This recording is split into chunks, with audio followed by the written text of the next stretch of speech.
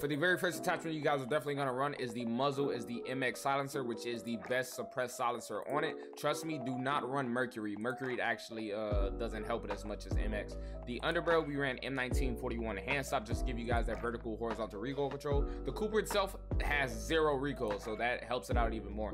The best barrel on the Cooper is the 22 inch Cooper custom barrel, which gives you a highly accurate, controllable fire rate, reduced scope, sway, and gun bob, and then your damage range. So definitely going to run a barrel. The best magazine is the um, 9mm 60 round drum. Don't let 9mm fool you. It is the best magazine that you guys are going to run and run. Uh, ammunition is lengthened just to give us that extra bullet velocity. The rear grip. Now, I was kind of switching back and forth, but it seems to be the polymer grip. Even though I got nerfed to polymer grip, it's still the best rear grip on the Cooper Carbine.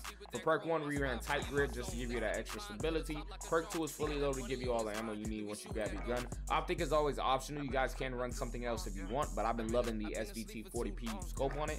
So that's just my personal favorite. Then for the very last attachment is the stock. We ran the, now a lot of people run a lot of different stuff like the Cooper custom uh, padded or the uh, Cooper 45W. I believe we ran the Cooper 45W, which gives you recoil control uh, and your accuracy during sustained fire. I use a lot of the other ones, but this one isn't that bad, but it takes away aim stability. So the Cooper 45W is the best way to go. Go ahead and give the setup a try, man. I'm telling you guys, you guys are gonna love it.